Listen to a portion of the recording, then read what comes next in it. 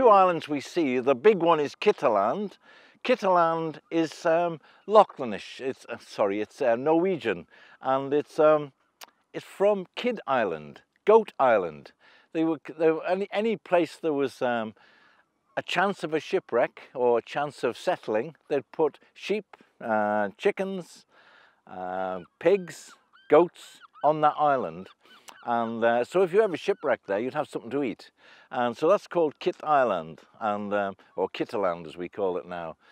The near one is Thousla. Now, no one's really sure what Thousla means. It's, it's, uh, has it as um, Fire Island.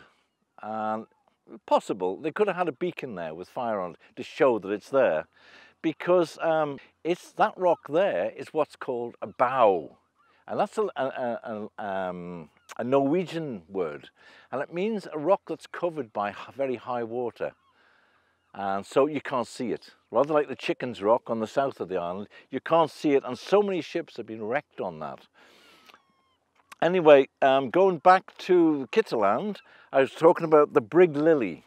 The lily was um, caught in a storm and it anchored, coming through the sound, it anchored and the storm increased and the anchors increased over the side. Eventually they snapped and um, the boat ended up, the brig ended up on the far side of the island in that waste bit.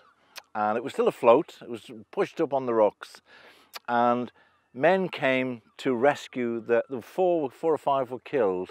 The captain and the son, I think, were killed.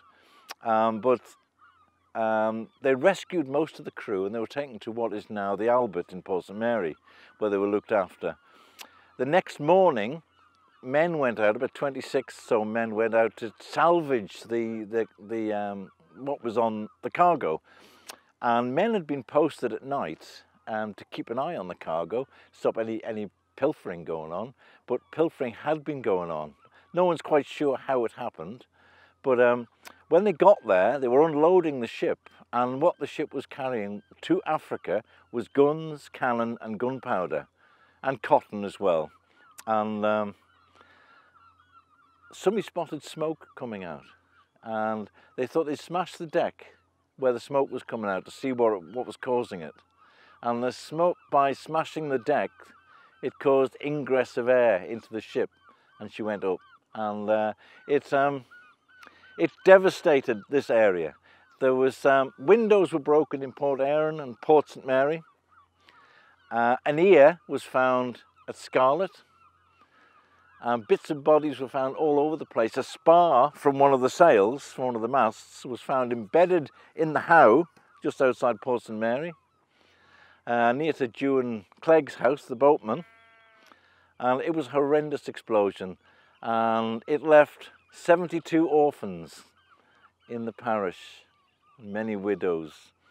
And it was a, a horrendous thing. It, it was, it was uh, mentioned in the Times and there was a, there's a, a picture, not a photograph, but a picture, a cartoon type picture, which is very explicit of an explosion on the Chicken's Rock, on uh, Kitterland.